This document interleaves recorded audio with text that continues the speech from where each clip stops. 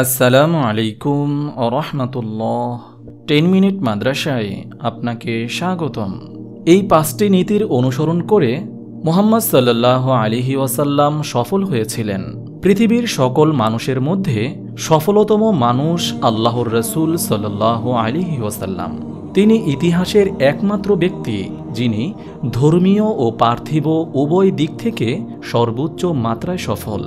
দুনিয়া ও আখেরাত উভয় জগতের সাফল্য অর্জনের জন্য তার জীবন থেকেই আমরা সর্বাধিক উত্তম শিক্ষা গ্রহণ করতে পারি। রসুল সাল আলিহি ওয়াসাল্লামের জীবন থেকে এখানে সাফল্য অর্জনের পাঁচটি নীতি আলোচনা করা হলো। তা হল, নম্বর এক, সহজ থেকে শুরু করুন। যদি আপনি কোনো নির্দিষ্ট লক্ষ্যে পৌঁছতে চান বা কোনো কাজ করতে চান, তবে সেই কাজটির সহজ অংশ থেকে শুরু করুন। হজরত আয়সা রদিয়াল্লাহ আনহা বলেছেন, যখনই রসুল সাল আলিহি ওয়াসাল্লামের কাছে দুটি বিষয় বাছাই করার সুযোগ আসত, তিনি সবসময় সহজ সুযোগটি গ্রহণ করতেন। সোহেবুখারি নম্বর দুই, অসুবিধা থেকেই সুবিধা গ্রহণ করুন। সকল বিষয় ও বস্তুর মধ্যেই সুবিধা অসুবিধা পাশাপাশি রয়েছে। সুখ দুঃখ এই পৃথিবীতে পাশাপাশি অবস্থান করে। কোরআনুল কারিমে আল্লাহ তালা বলেছেন, নিশ্চয়ই কষ্টের সাথে সাথে স্বস্তি রয়েছে। সুরা আলাম নাসরহ আয়াত পাঁচ।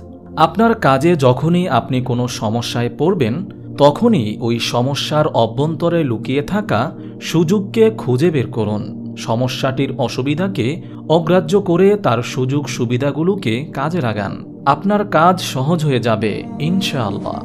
নম্বর তিন শত্রুকে বন্ধুতে পরিণত করুন।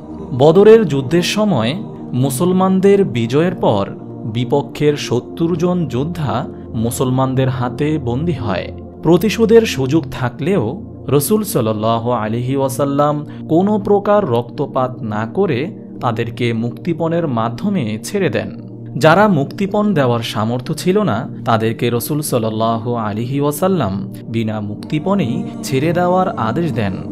এর মাধ্যমে রসুল সাল আলহি ওয়াসাল্লামের প্রতি শত্রু ভাবাপন্ন এই মানুষগুলোর মধ্যে তার প্রতি এক প্রকার আকর্ষণ ও অনুরাগের সৃষ্টি হয়। মক্কা বিজয়ের পর যখন রসুল সাল আলিহি ওয়াসাল্লাম সুযোগ থাকা সত্ত্বেও তার প্রতি নির্যাতন করা মক্কাবাসীদের ক্ষমা করে দেন, তখন মক্কাবাসীরা দলে দলে ইসলাম গ্রহণ করেন।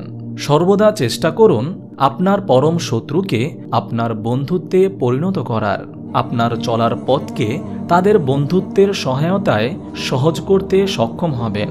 নম্বর চার, লাফে লাফে নয়, ধাপে ধাপে। সমাজের কিছু পরিবর্তনের জন্য আপনার এমন কর্মপন্থা অনুসরণ করা উচিত।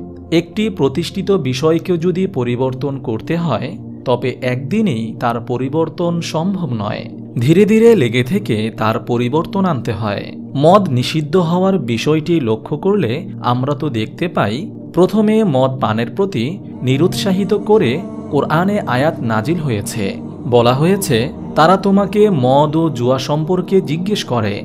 বলে দাও, এতুদু ভয়ের মধ্যে রয়েছে মহাপাপ, আর মানুষের জন্য উপকারিতাও রয়েছে। তবে এগুলোর পাপ, উপকারিতা, অপেক্ষা অনেক বড়। সুরাবাকারা আয়াত দুইশো উনিশ।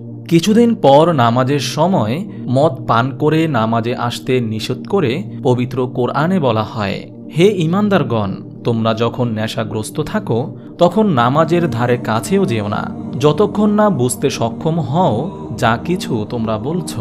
সুরা নিসা, আয়াত তেতাল্লিশ। এরপর মানুষ যখন এক পর্যায়ে সম্পূর্ণভাবে তৈরি হয়ে গেল, তখন চূড়ান্তভাবে মদ পান করতে নিষেধাজ্ঞা প্রদান করা হলো। বলা হলো হে মমিনগণ, এই যে মদ, জুয়া, প্রতিমা এবং ভাগ্য নির্ধারক স্বরসমূহ, এসব শয়তানের অপবিত্র কার্য বৈত আর কিছু নয়। অতএব এগুলো থেকে বেঁচে থাকো, যাতে তোমরা কল্যাণপ্রাপ্ত হও। সুরা মাইদা, আয়াত নব্বই। মানুষের জীবনের ক্ষেত্রেও একই রূপনীতি কার্যকর। কোনো মানুষ একদিনেই উন্নতি করে না, বরং সে ধীরে ধীরে নিয়মিতভাবে তার উন্নতির জন্য লেগে থাকে। তবে এক পর্যায়ে সে সফল হবেই নম্বর পাঁচ, সহিংসতার বদলে শান্তি অবলম্বন করুন। অধিকাংশ লোকেরই ধারণা, ইসলামের প্রচার হয়েছে তলোয়ারের মাধ্যমে, কিন্তু বাস্তবতা এর বিপরীত। রসুল সাল আলিহি ওয়াসাল্লাম যেখানে সুযোগ পেয়েছেন, অযথা রক্তপাত না করে শান্তিপূর্ণভাবে তা সমাধান করেছেন। মক্কা বিজয়ের ইতিহাস এক্ষেত্রে একটি বড় দৃষ্টান্ত। কোনো প্রকার সহিংসতা ছাড়াই রক্তপাতহীন এমন বিজয় পৃথিবীর ইতিহাসে বিরল।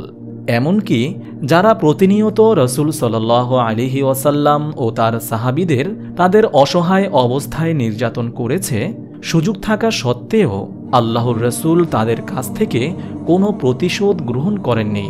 ফলে মক্কা বিজয়ের পরপরই অল্প সময়ের মধ্যে সমগ্র আরব ইসলামের ছায়াতলে আশ্রয় গ্রহণ করে। সহিংসতা মানবজাতিকে অহেতুক জটিলতায় আবদ্ধ করে ফেলে।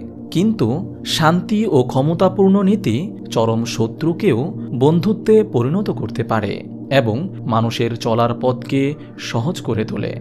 মহান আল্লাহ তালা আমাদের সবাইকে রসুল সাল আলিহি ওয়াসাল্লামের আদর্শ মেনে চলার তাওফিক দান করুন। আমিন। আপনি যদি এরকম ভিডিও আরও পেতে চান, তাহলে এই চ্যানেলটি সাবস্ক্রাইব করে পাশে রাখা বেল আইকনটি অন করে দিন।